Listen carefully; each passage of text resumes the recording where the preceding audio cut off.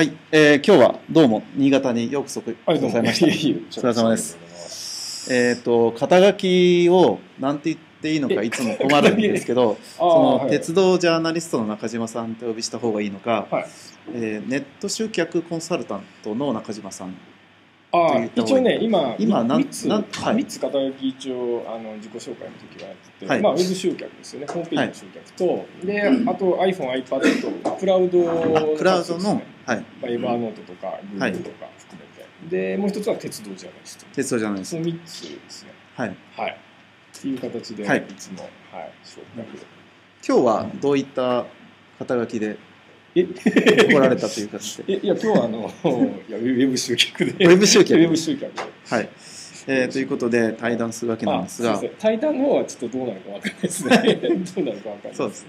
はい今日は、えーとまあ、実は内容何も決めてないんですが、あのなんか中島さんから聞きたいことがあるということで、はい、あの横田さんは、はい、あのし出版ね本,、はい。本ね、だだ出さないというかはい、はい、あれえっと正確には何でしたっけ？出さないっていうこれ一応こういうですねあの小冊子は、まあ、書かせていただいたんですけど、本は出さないとそうそうそうそう、はい、その辺の,、はいあのまあ、一応投稿とか読ませてもらってるんですけど、ええ、実際のとこどうなのかなと思って実際のところどうか、あはい、あのなぜなぜそれを出さないとなんか意図があるのかなって意図はですね、あのまあ、そのしゅその時に言っている通りなんあですけど。そのままですか。そのままなんですけど、あまああの一番は、えー私の親父が、はい。えー出版社なんですね。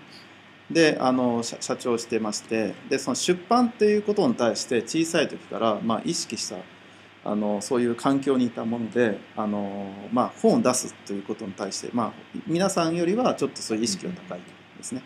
で、えーとまあ、そそれがあってその出版をするっていうことは、えー自分の中ではその自分の父親と同じあの位置に行けるっていうかあの、まあ、追い越せるというかあの同じようなところに行けるっていうのがあって、まああのまあ、そうなればいいなという思いはあるんですが、まあ、まだまだそういう、えー恐れ多いと思ってるので、まあ、出版しないっていうことが一つとあと、まあ、一番このソーシャルメディアを使うようになって思ってることはあの本を出すとですね本が一人歩きしてしまって、えーとまあ、誰かわからないえー世の中のいろんな人に本が知れ渡ってで本をお金を出して買ってくださって、えーあのまあ、ノウハウですねはい勉強しする方が当然増えるわけですね。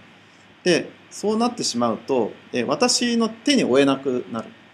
お客さんはお金を出して、えー私の本を勉強してくださってるのに私はフォローできないわけですよね。うんその誰が買ったかはわからないので、えーだけど、えー本を出すっていうことが、えー嫌いなわけではなくて、あの直売りならいいんですよ。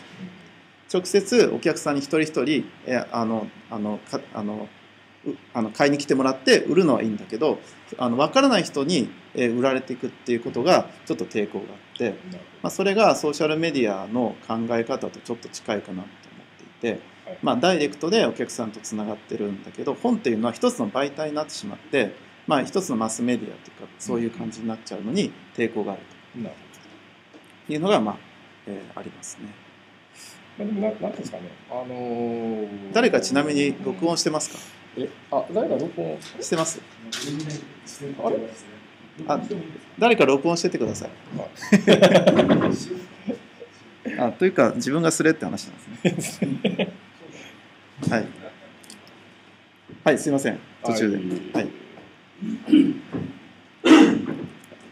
それで、はいだからマス,、まあ、マスメディアに近いっていう話はあるんですけど、まあ、ただ実際問題として、まあ、例えばなんですか、ねまあ、本出した時に、はいうんまあ、基本的にはそのテーマに、まあ、興味のある人がはい手にするはいわけじゃないですか。えええだから、なんかそういう部分では、あの、なんすかね、その出本の中に、あと、その、読者と。接点を持つような仕掛けっていうかね、ああ、なるをし。とけば、うんまあ、結構いけるんじゃないかなと僕は思ってて、あ逆に僕なんか結構メールは来ますからね。はい。はい。ああとですね、うん。まあもう一つはあの手一杯っていうのがあって。あの結局その今でこそ、まあ、あの睡眠時間3時間とか、ぐらいでやってるのに、まあ、本を出すことによって、まあ、多分お仕事がいろいろ来る機会って増えると思うんですけど、えーとてもこなしきれないっていうのもあって、えーまあ、それもありますね。多分一番それが大変かもしれないですよね。だから結局あの本本によって、えー自分がなんか変えられていっちゃうじゃないですか。まあ、お客さんも本によって影響を受けるし私自身も自分の思うように動けなくなってくるのがちょっと嫌で、えーまあ今のような感じがいいかなっていう一つあります。それを言われると何も言えなくなっちゃうんですよね時間がないと言われるとああそうですかって終わっちゃうんですけど。そうですよね。まあでも結構楽しいですよ。あのソーシャルメディアではないかもしれないですけどね、はい。まああの本を手に取ってあのあ出版されてる方ってどれどれぐらい誰かいらっしゃるんでしょういらっしゃらないですね。はい。あの意外となんですかねっていうかこれなんかおかしいですね。ゼロ人視聴中になってるのにね私見てるのに。おかしいですね。いや、僕も見てます。え、これ配信されてますよね？配信してますね。見てる方見ますですよね。いいですね。はい、あの、本出すとね、何がいいかっていうと、はいあの、まあ、さっき、ゆかさんがおっしゃったように、その一人歩きっていう話をされたんですけど、はいもうまさにそれで、うん。結構最近面白いことが起こってて例えば僕、えっとアメーバブログのセミナーするとするじゃないですか、そしたら、えっとまあ、僕の本もそのアメブロの本は持ってないけど、はい。Facebook の本持ってましたみたいな感じであの要は。ねその Facebook の著者が喋ってるっていう感覚なしに来る人とかいてるんですよ。ああ、はあ、はあはあ。で、あのーなんですかね、会って初めて、あ実は Facebook のその自分が持ってた本の著者だったとかね、うん。なんかそういう機会が結構増えてきて、はい。やっぱりなんかそういう意味では、ん？あ、また原稿あ。すいません、あの、あの山田さんあの、まあ、あともう一個理由があって、はいはい。そもそもあの本書きませんかって依頼が来てないって。いうのあがあっあ、いや、いや、て山田さん見てますか？いや、山田さん、いやいや、あの、僕、山田さんに、よこさはい。んどうすかねっつって。あ言ってください。やそうですよ。あの、一応気使っ て、気使ってないです。か。いつかって。あの、いや、でも、よこさん本書きたくないっていうか、あの、今書かないって言ったしなと思って、はい。そうなんですよ。あのあそうなんですね。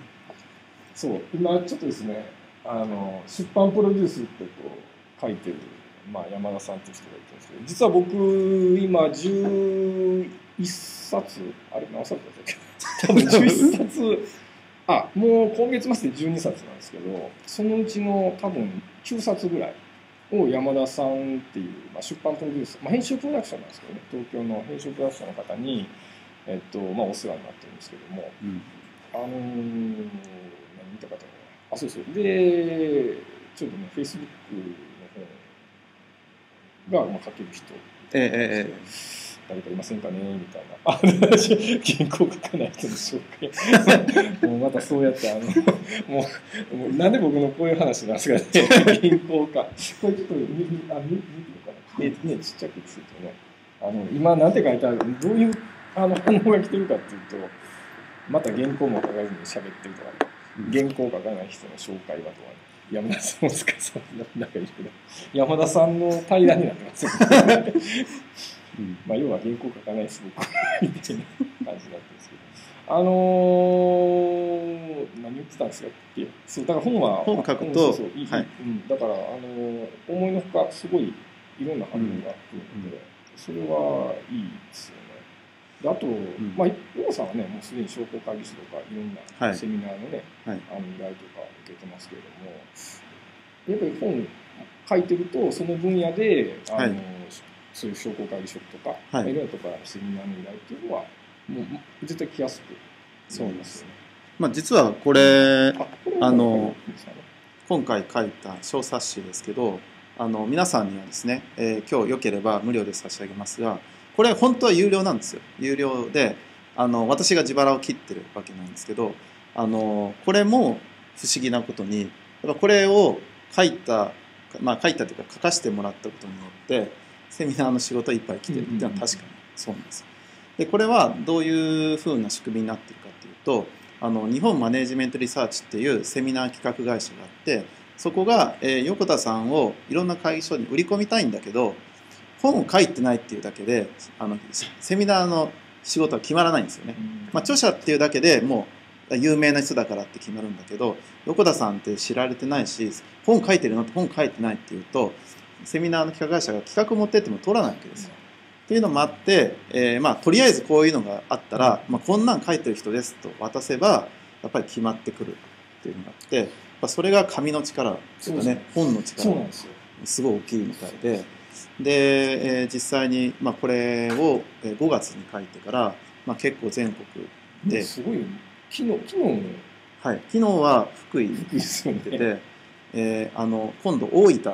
大分もですね。あ大分行かんので今度行きます。えいいつですか？えっと、まだ先です。あの10 9月 10, 10月11月。え商工会議所ですか？それちょっとそこから言えないまだ言えないんですけどああのもっと大きいとこ。あそうですねあなるほど。なるほどでそれ1日講座です、はいはい。朝から晩までの講座を2回講座で行くっていうのがあってでまあそうやっぱりなと思ったんですよ。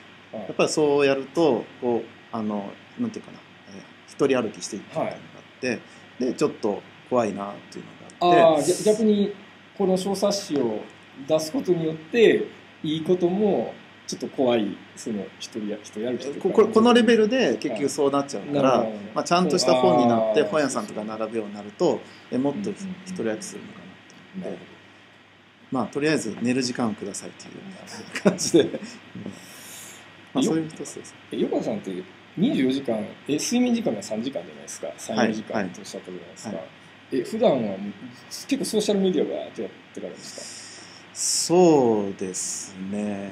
まあこれ測ったことないんでわかんないんですけど、あのまあ常に Facebook とか Twitter とかがブラウザで立ち上がってるのは事実。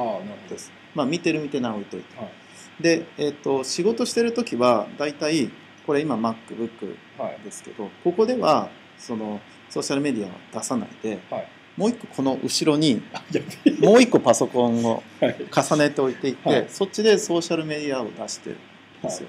で、えー最初は同じパソコンでやってたんですけど同じパソコンだとマウスが一緒、はい。まあ、当たり前なんですよ、まあマウス1個しかないので、そうするとなんか仕事でこうレジュメとか書い書いたりとか仕事しながらついついマウスが手が滑ったとか言いながらなんかソーシャルメディア見ちゃうじゃないですか。なるほど。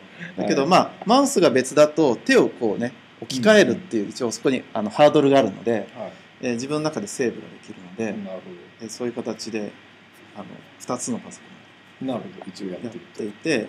でまあ確かに仕事をする時はあのまあ見ないですけど。はい、多分皆さんの中にもねあの Facebook やりだすとハマっちゃって実際ね時間もったいないとかねそういう 時間が時間がどんどん過ぎていくみたいな人は力を飲むことますねそうなんですよでまあちょっと今ユーストリームのあのこうやって対談させてもらってあのどんどんどんどんね Facebook とか Twitter で書き込みいただいてるんですけど、あの山田さんがですね中島さんのおかげで、えー来週胃カメラを飲むことになりましたと。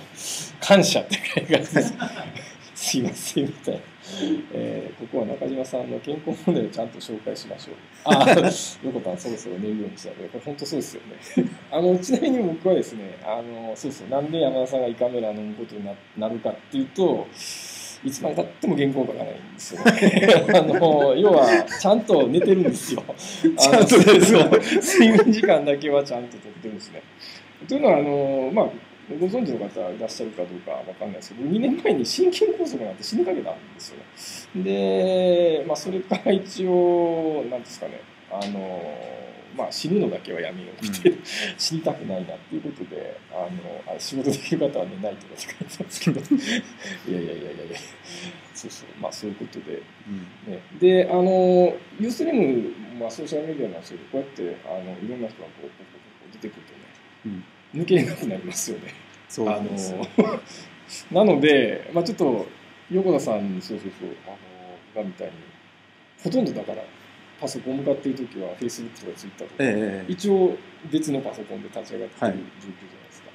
で実はあの僕は真逆っていうかねもう一応決めてるんですよ時間を、えでタイムマネージメントをちゃんとして。でまた僕今多分こういうこと言うと元山田さんから書き込みあると思うんですけど まあタイムマネジメントっていうよりもただ単にあのじあのなんですかあのすぐ引き寄せられるんで、ええ Facebook の方に。だから、あの例えばもうネット遮断してはい。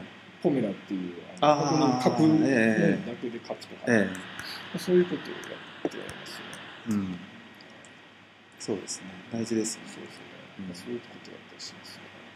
まあそんなに そんなにそんなに仕事はしてないんですよ。私いやいやいやいやただあうんとい今の私のススタイルっていうのはなんて言うんですかねそのか書いたりする仕事がほとんどないんですよ。書いたりする仕事がなくてあとなんかまあか書くっていうのは打つ、ね、打つ書く仕事と本当に手で書く仕事がほとんどないんですよ。でほとんど喋ってるだけなんですよ。なるほであのブログも全部動画にしちゃったのでど。はい。全部喋ってるなるほど。で、えーそういうふうになっちゃったので、えーまああのなんていうか基本的にパソコン立ち上げてパソコン上で、まあ、ユーストリームとかそういうの立ち上げて喋ってしまえば、まあ、それがブログとして毎日更新するようになっていて、えーなのでその実際仕事してるんかというとあんましてないっていうかあとそそれ以外はセミナーの仕事で講演で喋ってるか、もしくはコンサルでお客さんのとこ行って喋ってるかって。結局喋ってるしかないじゃんって感じなんで、まあ、まあ喋ってるかあのいいねをしてるかどっちかみたいはな、どっちみたいな感じですまあ多分その辺はね一緒一緒だと思うんですよね。僕もあのコンサル業とセミナー講師が多いんで、まあそういう形が多いですけどね。さてということで、はい。えー、何 どういどういうことですか？どういうことで、はい。何どういう話題でいきましょうかね。なんかああのーぜぜひ、はい。あのはい。これあのお二人とももうはい。鉄板となってるネタああるじゃないですか、ーはいはい。ソーシャルメディア、はい。これをまああのお互いはお互いで言ってるんだけど、はい。え本当に、はい。えー合ってる合ってるかどうか。あ合ってるかどうかっていう 話を一回しと。く SS と SL の話。SL の話。そうですよねえっとですねあのー実は僕横田さんに誘われてっていうか、まあえっと僕が新潟に寄せてもらったのは初めて寄せてもらったのは去年の秋のえっと去年の9月秋9月去9月年の秋の11月の3 3日ですね。そうそうそう思いました。そう3そう日です祭日祭日ですはい。ねでその時にあのアメオブログのセミナーの、まあ、講師で呼んでいただいたんですけれども。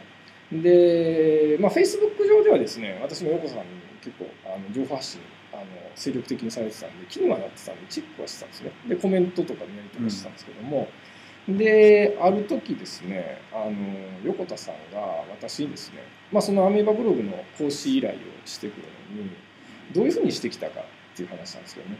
で僕はいつも自分のセミナーでも言ってますしで私の本にも書いたんですけど、はい。あの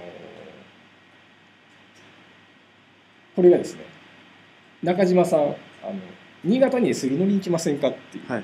もうそのメッセージでしたっけ？コメント。あれはコメントです。ね。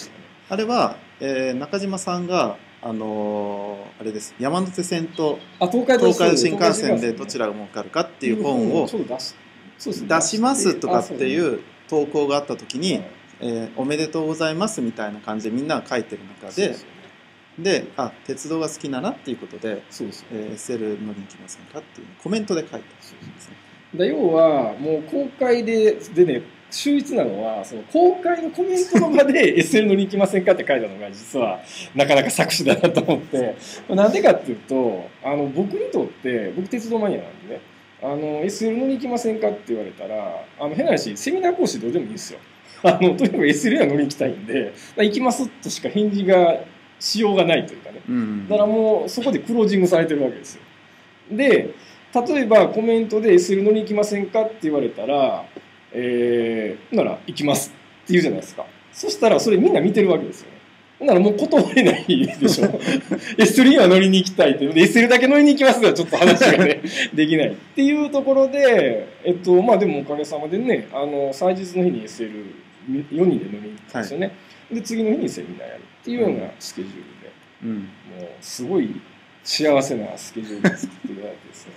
っていうような感じで。で また、またあの、すみません、あの山田さんがすぐちゃちゃ入れるんで、それあのね、これなんで今途切れるかっていうと、これ、あの、ソーシャルメディアの悪いところでもあるんですけど、うあの、読んじゃうんですよ。あの、うん。ツイッターとか、はい。フェイスブックとか。ね。あすいません。っはい。ていうところが僕の、いあれはじあ、ゃあそのコメント1回でもう即 OK いや、僕はもう OK のつもりで、まあ、そこからメッセージをね、はい。多分いただいたと思うんですけど、多分、そこで半信半疑だったんですかね、横田さんの。えっ、意識とここ今塚本さんがあはい。あの書いてらっしゃいますけど、はい。マジでの話だってことで、あはい。マジでの話なんですよ。はい。あのこれはえっ、とあの乗りに来ませんかって書いたらあの中島さんがぜひ行きますと行かせてくださいっていうことを書いてでその後にマジですって書いてたんですよ。あ、そう、そうそう、思い出した。そうですね。思い出しました。そうそうマジですって書いてたので、えー本当ですかってありがとうございます。マジですって私も返したんです。これで OK っていうそうですよね。というのがありましたね。ねうんだから、あのー、本当公開された形でもう、引っ込みつかないみたいな 感じですよね。そう通常は例えばふ一般的に考えると中島さんっていう人がいてどうしても新潟呼びたいなってなったら普通は中島さんの公式ホームページに行って、うん。そこのなんか講演依頼のフォームかなんかにそうそう「すいません新潟の誰々なんですけど」って言っていついつどこどこに、まあ、例えばどのぐらいでどうやってくれませんかみたいな感じで送信みたいな感じするじゃないですか、そうするとそれ2人だけしか見てない世界ですよね。そうですよねそうすると中島さんは誰だと横たって、うんうん。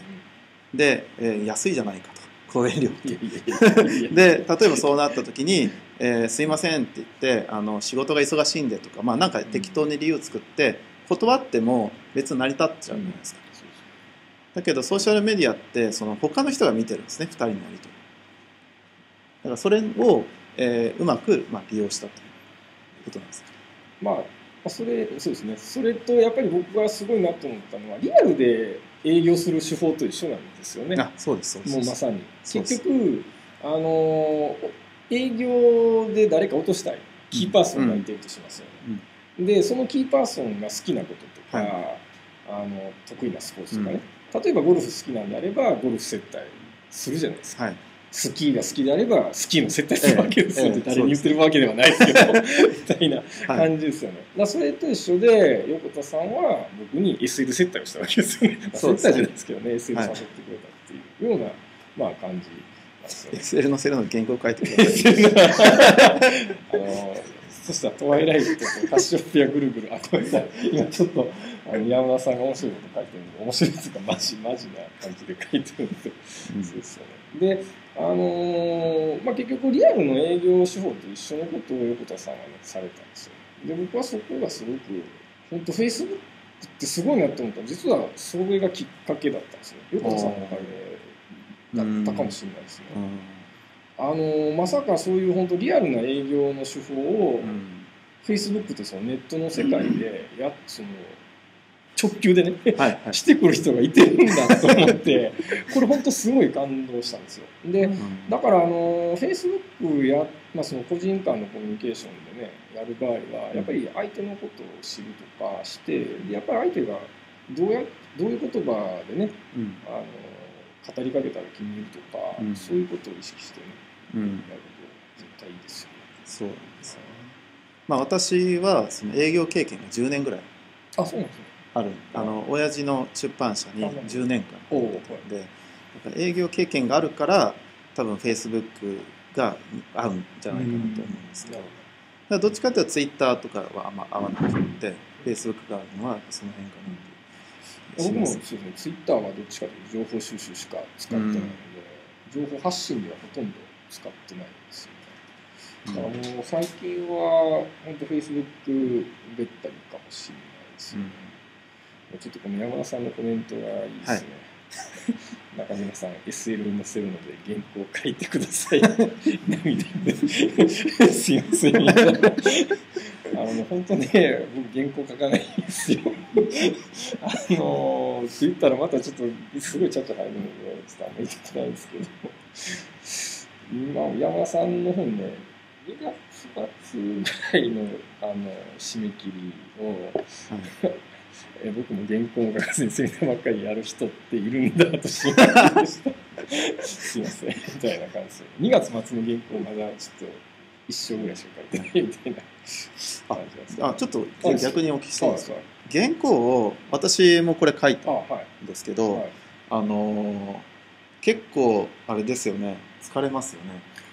あそうですね。文章を書書く書う。くのはそうですね。疲れるんですけどで書き方ってどうやって書いて、私これ実はあの原あの文章書いてるんですけど、はい。実はこれあの喋ったことを文字に起こしてるんあですよ。なるほど。はい。であのどうやって文字に起こしたかっていうもうどどうやって喋ったかっていうとそれもすごくってあの私家が上越なんですけど、はい。新潟上越の間の高速走ってる間1時間30分ぐらいあるんですけど、その間に iPhone をここにこう挿しおてー iPhone で走ってる間ずっと喋ってなるほど。たんですでソーシャルメディアとはっていうことでバーって喋ったのを行き1時間半喋るじゃないですか、はい。まあ、1時間半っていうかまあ1時間ぐらいですか。喋ってで帰りも同じテーマで喋ったんですよ。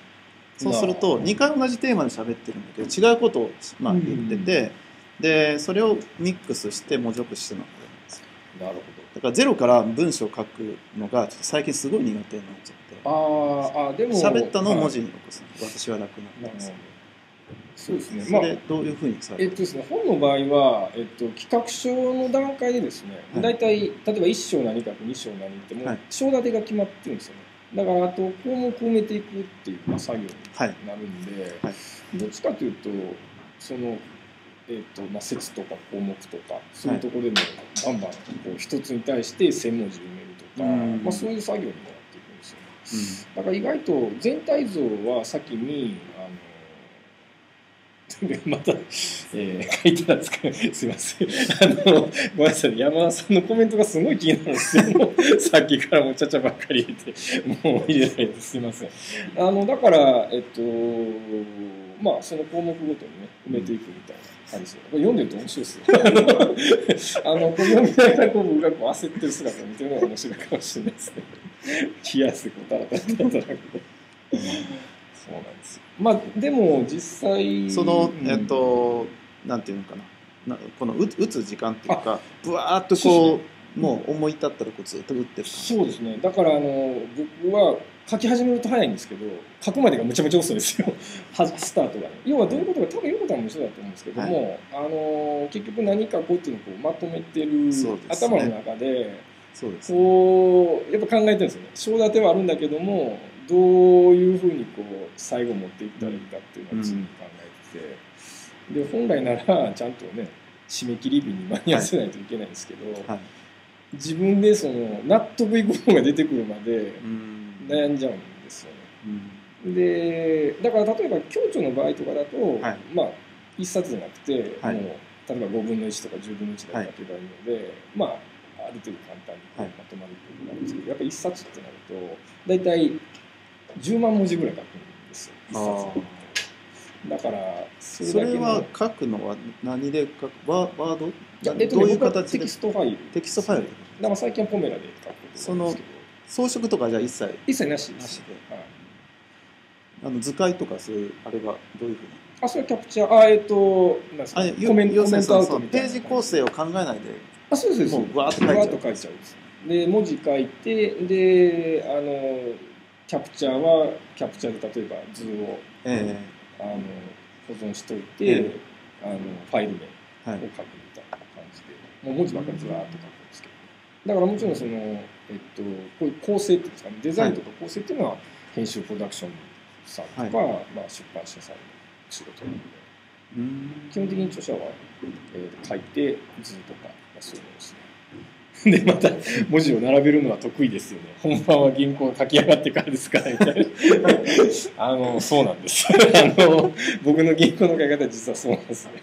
うわーってとりあえず書きたいこと書いて、はいで山田さんにはい重複してるところは全部削られるんですよ。はいあの例えばセミナーとかだったら重要なことをこう何遍も話できるんですよね。ここ重要ですよって言って何遍もこう話すんですけども、うん本の場合は重複すると怒られるんですよ。はいはい。そうそうですよね。あのね。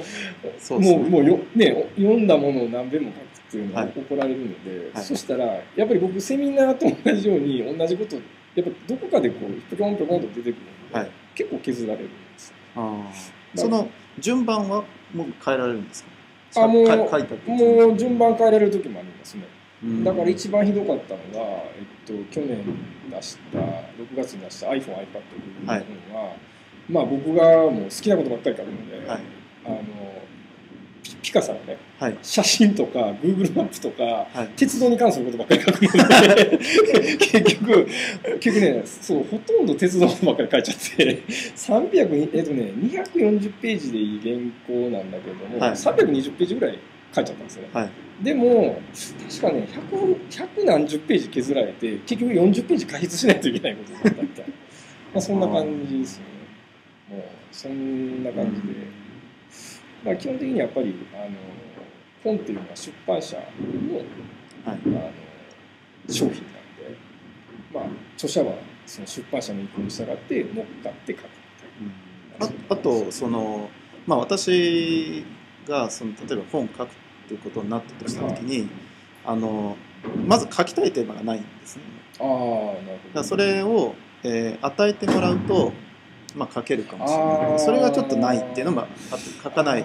出版でちょっと引っかかってる理由があってで実は年末にあのツイッター社会論っていう本を書かれた、あ津田大介さんと対談をさせてやるときに、あの何を話そうかねっていうことでずっと考えてたんですよ。企画の段階なるほでその時に、えーたまたま津田大介さんの、えー過去の著書の中ど、で、はいえー音楽は誰が殺すのか」って彼はまあ音楽も詳しい人でその本を書いたのがあってであと思ってソーシャルメディア誰が殺すのかにしたらいいんじゃないっていうことで、そのテーマが思いついたら喋、えー喋ることが全部こう浮いて浮かんできて書けたっていうのがあって、まあ、これも実はそうなんですよ。うん。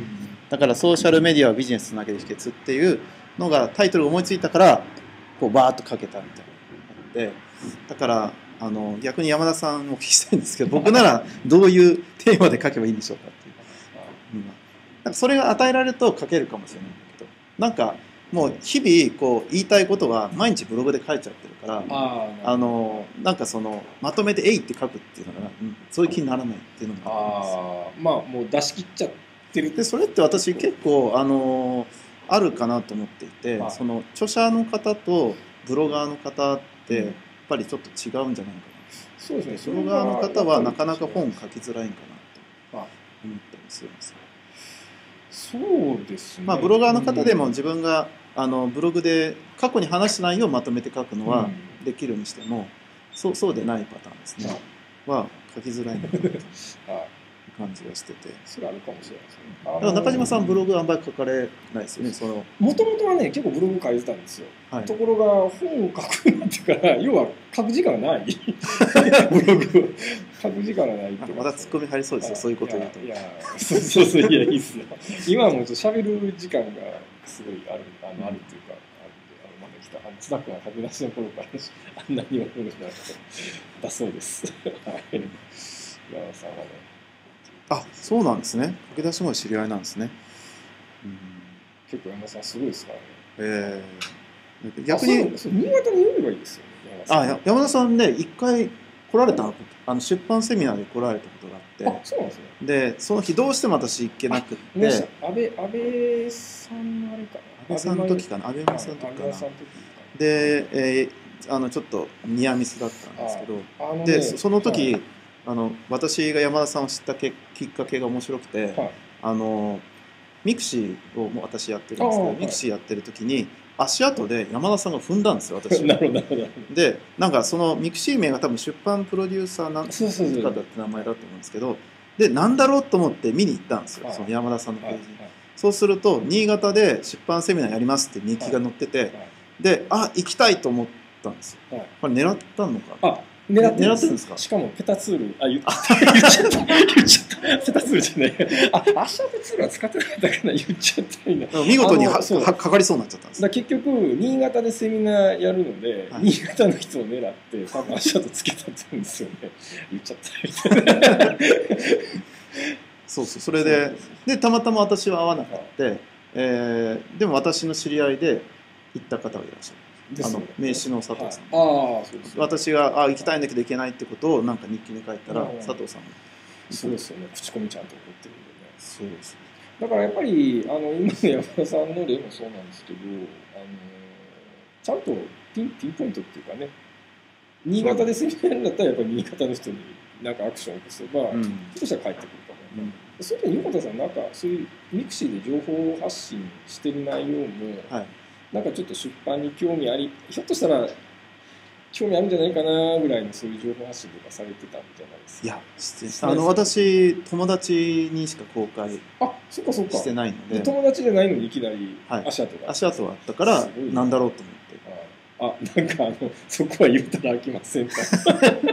逆に逆に山田さん覚えてますかね？そのそれで私メッセージも確か山田さんに送ったあんですよあ友達いや、うん、友達なんで行きたいんだけどすあのちょっと行けませんみたいな感じで書いた気がしてるんですよまあ、そういったミクシーはね、結構足跡、まあ今、え今足跡部はななくなりましたね。だからやっぱり そういう使い方をする人がいっぱいいてたので。まあアメブでロとかではね結構まだ有効ですけどね。ペタツールペタを使ってねでちなみに今あのお鬼越さんって、はい。この方も僕のおあ鬼越さん。はいはいはい。あのフェイスブックの方に書かれた人なんですけど、はい。あの男子スイーツ部っていうはい。のがあるんですよ。あのどうしようかな。出てこないですよね。男子スイーツ部っていうのは。公開公開あのグループであるんですけど、はい。まあ男子スイーツ部なんですけど一応女子も入るんですけど。あフェイスブックはい、フェイスブックで男子スイーツ部。で、あのーただ単に食べたスイーツを自慢し合ってるっていう それだけのものなんですけど最近ですね以前は結構その投稿したものに対してコメントとかわはい。ーって入ってたんですけど、最近みんなあの投稿することに一生懸命になってきてはい。あのだんだんね中島さんも入ってるんあ入ってますす入ってます。だって僕僕はですね列車に乗るとアップするんですよ。列車で食べたスイーツしか僕アップしないことあにしててーこれちょっとやばいですねえすすごいですよ。だ多分僕の、えっと男子スイーツ部なのに女の子もあ女子 OK なんですよ。あの鬼越さんが、はい。田村さんがあの部長なんですけど、はい。あの部長が許可したら OK です。だから基本女子も OK です。じゃあ女性の方、はい。スイーツ好きな方ぜひ。でちなみにね京都でオフ会した時に30人ぐらい集まったんですよ。ああまあお男も多かったんですけど。ででそれはだなんか有名なそのスイーツ屋さんがなんか会場で、いやまあ知ってるところのスイーツのとこに行ったんですけど、でもなんかね朝日新聞が京都の人がね取材に来たりとか結構面白いことになってたりとか。うまそう。うまそう。お腹減ってきますよねこれね。2時半ですし。ああなるほど何の話でしたっけ？男子スイーツあそうですすいませんあ鬼子あそうそうそうさんね。はい。そうだからこうやって行ったり来ねなんかもう話がわけわかんなくなってきますけど名前ですならこれは 復習かいえいえそんなことはないです。みたいな感じですよ入会希望を出しました。とこれはああの鬼越さんが管理人なんですね。あそうですね、はい。はい。なるほど、うんまあな何の話でしたっけ、まあ、分かんなくなりましたけど、まあ、ソーシャルメディアって、だから、ここに、結局、あの、顔写真がね、こう、いっぱい、あの、んみん。な載せてくれてるので、離れてるわけですよ。お鬼越さんは、今、多分京都にいてると思うんですけど、うん。山さん東京じゃないですか。はい、で、離れてても、ここにもうリアルタイムで、うん。なんか、で、しかも公開してるわけですよ、はい。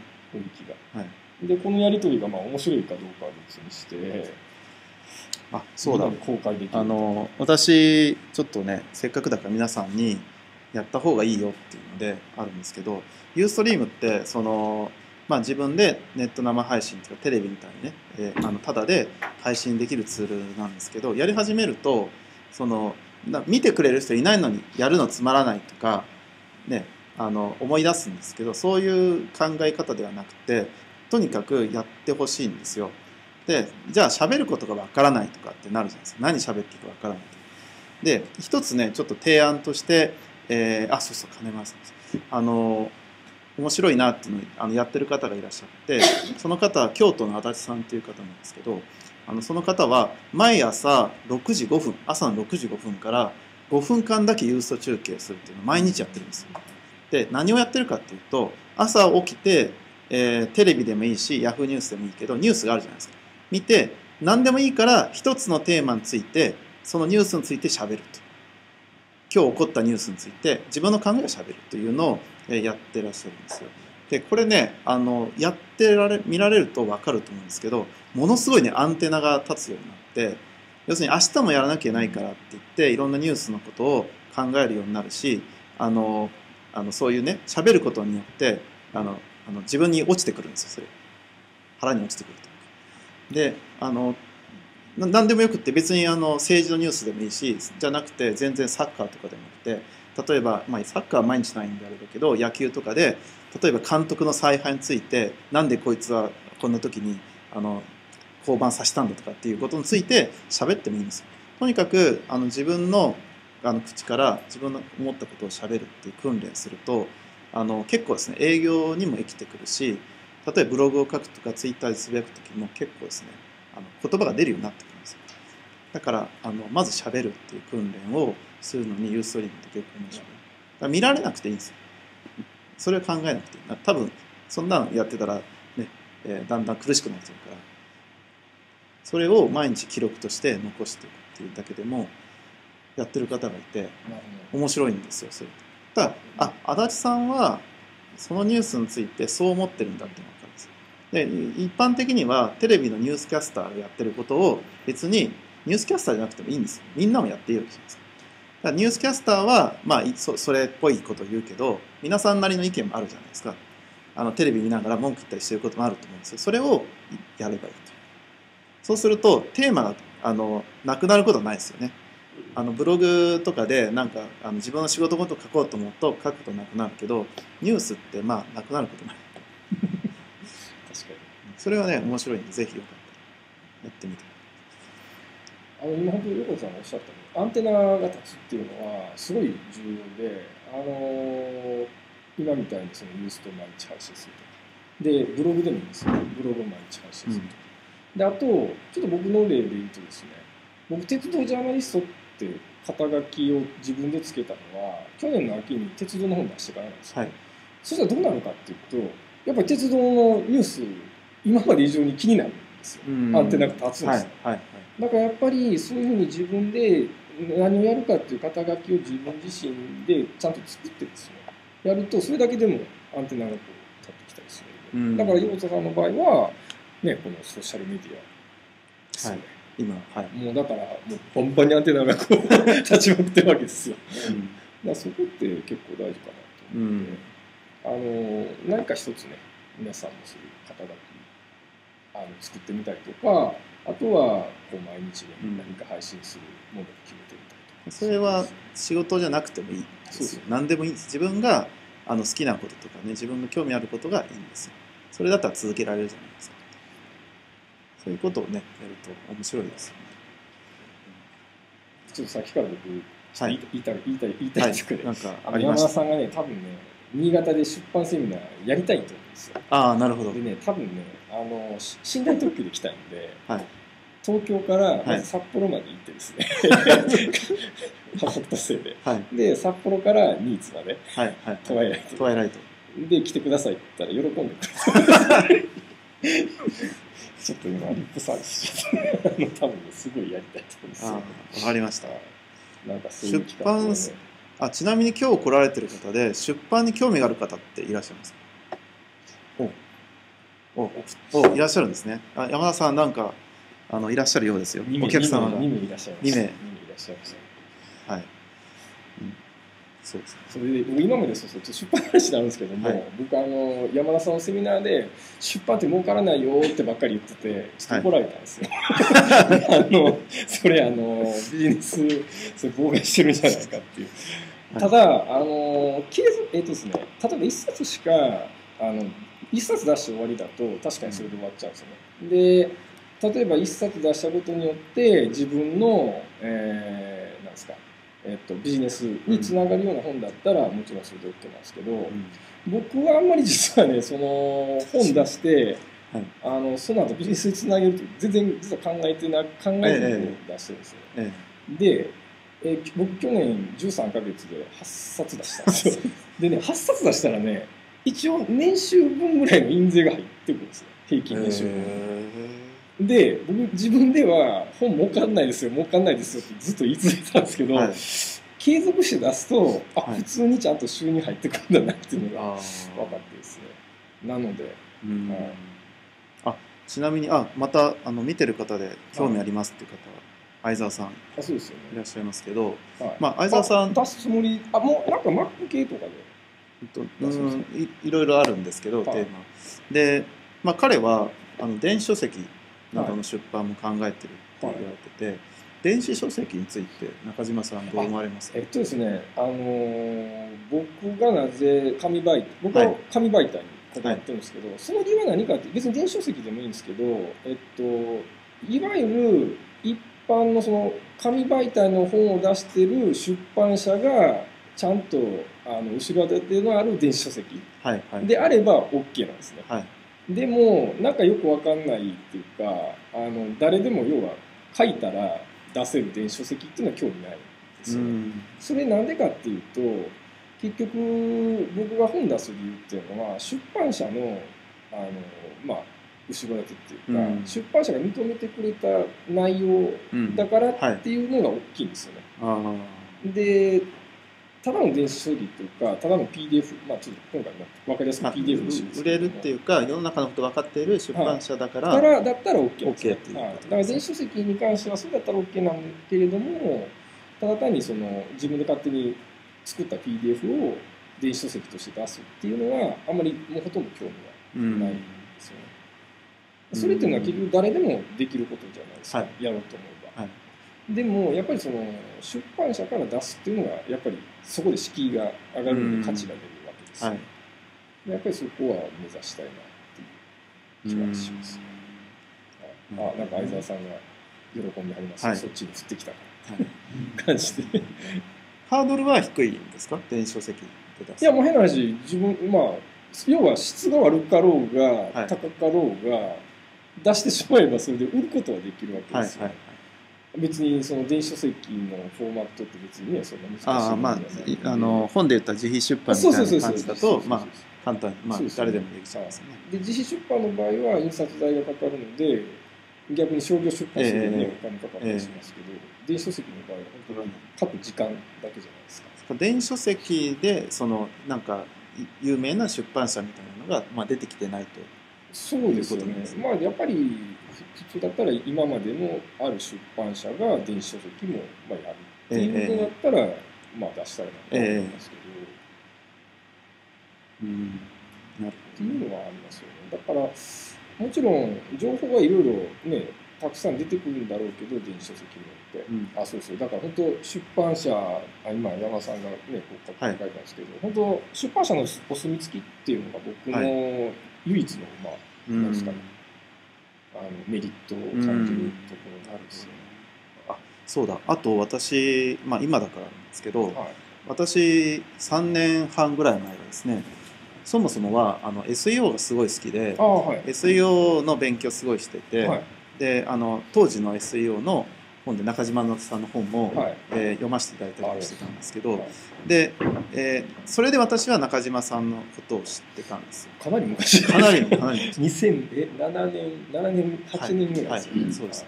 で中島さんのことを知っていてで要するにその時知ってた人がたまたま Facebook でああなんかどどっちかわかんない。多分でも私からだと思うんですけどはい。友達申請あはあ中島さんって有名な人だからって申請したわけですよ。あそれは SEO が詳しい人だからっていう理由だけであんまりそれ以上深いことは考えないで申請ポチっておっしゃったんですよ。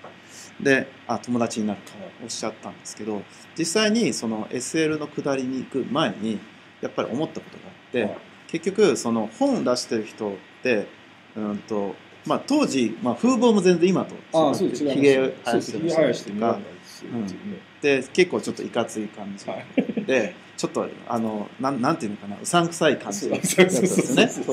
昔いや本当そうだったんですで、えーそれも SEO っていうところでやってらっしゃったのでまあでもとりあえず友達申請しとくかってしたわけですよで実際にそうするとニュースフィードとかに中島さんの情報が流れてくるじゃないですか。でそれを見てあのなぜ SL に誘うかって思ったかっていうと中島さんのそのパーソナルな部分ですね人柄みたいなのがあので見えてきたんですよ。でも本ってすごいかねそう人柄出ないじゃないですか。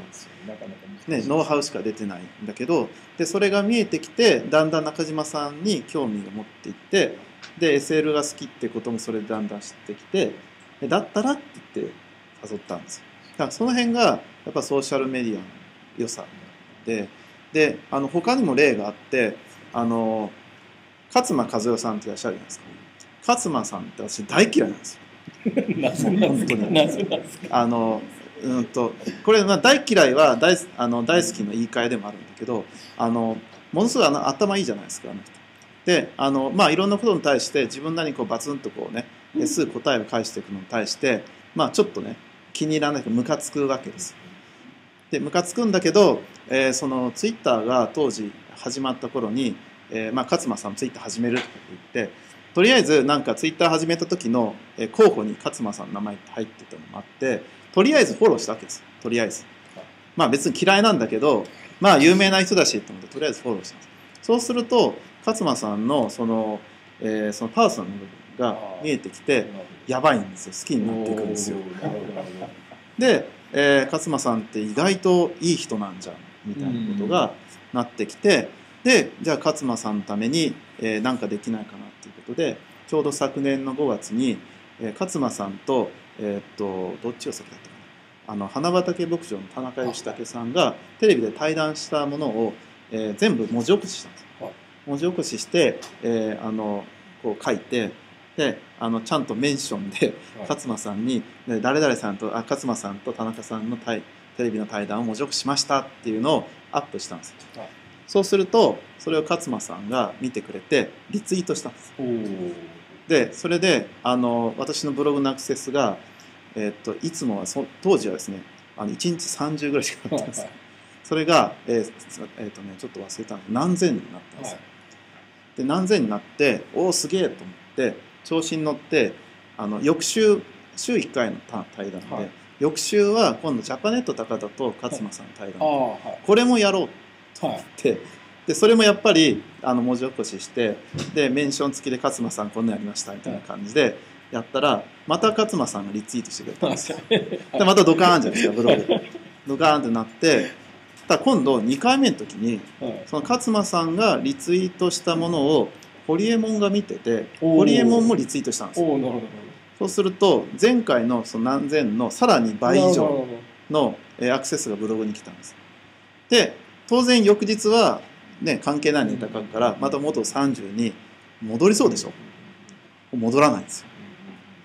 あの30ぐらいだったのがドカーンってなって1回落ちてもう1回1週間ドカーンってなってまた落ちる時は100ぐらいで止まったんですよ。でどういうことかあったら結局それであの知らしめて他の日も横田さん、まあ、いいこと書いてるじゃんって言って、読者として残った人がいるんですよ。でその辺も、えーこうどうやったらそのなんていうかな 人を人のはい力を利用してはい。自分がこうね上がっていくかっていう私が勉強したで。もそうですね。積極的に要はレバレッジ効かせてね。そうっす。要はあの紹介しあの結局 SEO って紹介されることじゃないですか、そうですね。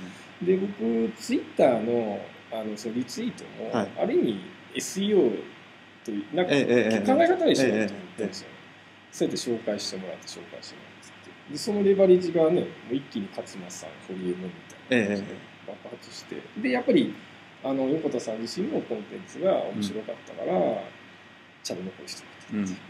ある意味理想的なソーシャルメディアの活用ですよね。そうそう。そうあただ結局そのソーシャルメディアって私その時に去年の5月ぐらいにツイッターでそれでちょっと悟ったんですよ。ソーシャルメディアの凄さっていうのを。であの時に思ったのは、えーブログって基本的に今までは自分の好きなこと言いたいことを発信してたんです。でこれでは共感する人って少ないんですよ。だけど人の人のために人が役立つこと人が喜ぶことを発信してあげるとその人たちが、まあ、リツイートというかえ転送してくれたりとかシェアしてくれたりいいねしてくれたりするっていうことに気づいてそれからどんどんどんどんあのそういう形を考えていったんです。で最近そのターゲットになってるのが高谷さんで。しょっちゅう高谷さんをタグ付けして 高谷さんど SEO の今日の記事素晴らしいですねとかって書くと、まあ、本人は喜ぶわけです。だから自分が SEO について、えー同じようなことをブログで書いたとしてもそれを皆さん見てねっていうんじゃなくて、ね、あの高谷さんのブログ素晴らしいですねって私の友達見た方がいいよってやることによってあの高谷さんも嬉しいしお友達も横田さんの情報じゃないから売り込みじゃないんです。よ、人の話だからだから聞い聞いてくれたり見てくれたりする。ここれを上手に使っていくとあのレバレッジが両方からかかるんですであの今そのターゲット高谷さん。でついに来月ね新潟に 呼べることえっにとまだ7月の29 29でしたね。はいにあの SEO コンサルタントの高谷さんという方を新潟にお招きするんですがあのい一度もまだ実は会ったことない。あそうですよね。熱い人です。すごい熱い人会ったことないんですけど、えーそういうソーシャルメディアを使うことによって、まあえー来てもらえるようなことができると。でこの間あの私のお客さんがあのビッグサイトにあのあの展示会があって行ったら、高谷さんがたまたまいらっしゃったらしくて、あの建築系のそうそうそうそうねですね。ちょっと講演してたみたいな。はい、で、えーそこで話をしてたらあのあ今度新潟に行くんだよみたいな話になって「えそうなんですか?」って言って横田さんっていう人が呼ぶんだけどって言って「あ僕私知ってます」みたいな。つ ながっちゃった。ん ですぐあのビッグサイトから電話電話かかってきてはい「高谷さんって知ってますか?」って言って「いや会ったことないんだけど。会ったことないんだけど知ってます」そうだから本当まあた高谷高谷さんは高谷さんって言ってあの僕の実はビジネスパートナーでもあるんですよね。だからまあ共通のね、そうそうそうっていう、まあ、知り合いの知り合いみたいな感じになるのででもやっぱりフェイスブックのすごいところはねあの顔写真が載ってるのでまあ会ったことなくてもうん。会ってるよううんな感じに、だからそれもやっぱり一緒で高谷さんと私は接点はないんだけど中島さんがいらっしゃったおかげで中島さんの名前を借りながら 高谷さんに接触したわけです最初。最初そうなんです。でうん。それで高谷さんとつながっていったいったら今度とりあえずそれで信用してもらえるじゃないですか。中島さんとつながってる人。で次は今度高谷さんに、えーが喜んでもらえるとか役立つことをやっていくとだんだん今度もっと認めてもらえるようになるんです。そうするとねあのいつか今帰ってくるというかというのがソーシャルメディア使いいい点です。まあ本当に横田さんはあのしそのまあちょっと言い方悪いですけど落としたいと 思ったキーパーソンを本当に喜ばすことを常に考えてるんですよね。考えてらっしゃるんですよ、まあ、そこはやっぱり僕はすごい素敵な使い方あありがとうございます。ああのあのこの間怒られましたよ高谷さんで？あのなんかあの高谷さんが喜ぶことばっかりをはい。私が書くとは高谷さんもあの、まあ、自分が喜ぶことを書かれてるから、い。はいねしたりコメントするじゃないですか、そうするとエッジランクが高くなって横田さんの顔ばっかり出てくる。ニュースフィードに私の顔ばっかり出るようになって。だけどそうするとまた自分の情報書かれてるからついつい反応したらまた俺ばっかりになるみたいな感じで。そうなんです致し返しいやいや。あのもうそれはあの喜んでるんですよ。あ の怒ってないです。大丈夫です。あのその大丈夫でってっていうことをまたさらに書いてるわけです。なるほど。なるほど。そうなんですよ。まあ、そういう意味ではフェイスブック面白いです。よね。だからそそうやってねあのやっていくんですよ。だから、えーあのこの間誰でしたっけ？あの、えー、と芸能人の女優さん。女優さんっていうか大場久美子さんでしたっけ、はい。結婚され再婚再婚って結婚でしたっけ？されたうんって分かりますか？あの確か大場久美子さんだと思うんですけどお相手はあの大場さんのブログのコメントを書いてる人なんです。よ。でその例えば、えー今日こんなことしました」とか「今こんなことで悩んでますか?」って書いたのにブログのコメントで「そんなことやらないで頑張ってください」ってもうあのず昔からのファンでででそういうことずっとやってるとだんだんだんだん仲が良くなっていってで会いませんかって話になって結婚したんですよ。あの自分の憧れてる女性と。で本当にね可能だと思うんですよ。ほいやマジで。だからあのこれが昔はできないんですよ。そういうあのぎ憧れてる人とかあのそういう人にダイレクトで接することってできないじゃないですか。だからあの決してあの人事ではなくて皆さんも頑張れば自分がこの人と一緒に組んだらあの仕事がねもっと大きくなるんだけどなっていう人と見つけてあのフィックスして追っていけば本当できるんですよ。だからそのためにはその人が例えば好きだとかその人と自分の共通点がなきゃいけないんです。共感するポイントじゃないとねあの続かないので。それを探すってことですよね。でやっていくときっと見つかるんですよあの本当共感のポイントってすごく大きくて、うん。もうさっきもねあのスキーの話で盛り上がってたんですけどやっぱり僕ちょっとスキー2年ほどやってなかったですね、はい。したんでで来シーズンからちょっとやろうと思ってて、はい。やっぱり、ね、合宿しましょうみたいな。スキー勉強会温泉みたいな。ねって依頼があったんですいやなんかやったら楽しいよなみたいな、はい。やっぱりみんなスキー行きたい人はねそれで盛り上がるじゃないですか、はい。っていうような話ですよね。そうですね。もうなんかちょっと山田さんがさっきからはい。いろんなことを書いてですねはい。えっと、出版業界では中島さんとつながっていることはマイナスです。弊社調べて。いや、もうみんな、あの、ケーズプロダクションさんからは、僕はい嫌われ者なんですよ。あの、そうなんですね。えらい、えらいことになって。はい、えー、はい。まあないろいろあるんですけど、はい。まあせっかくなんで皆さんからちょっと質問を。そうですよね。そうですなんか、なんか誰と喋っちゃ結局1時間ぐらい喋っちゃってますけど、でも、えね、結構、だからポイントは共感っていうそポイントうですよね。で横田さんのキーパーソンを落とす、はい。